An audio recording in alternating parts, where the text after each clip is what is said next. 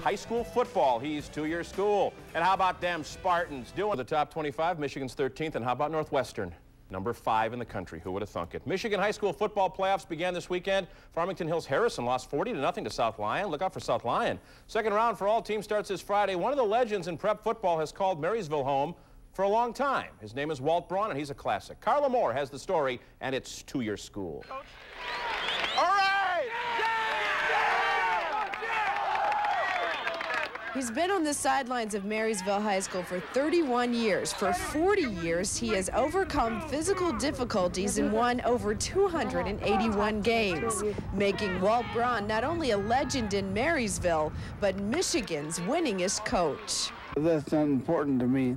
The thing that's important is that we play well.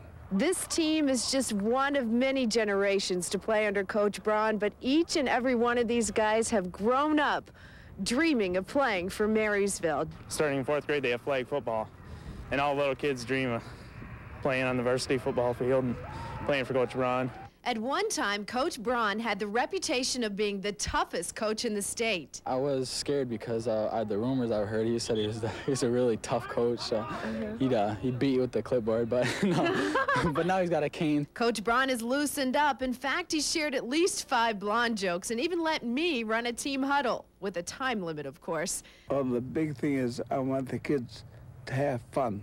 It's been on the scoreboard for over 40 years. Coach Braun is truly a winner on the field and in life, a living legend.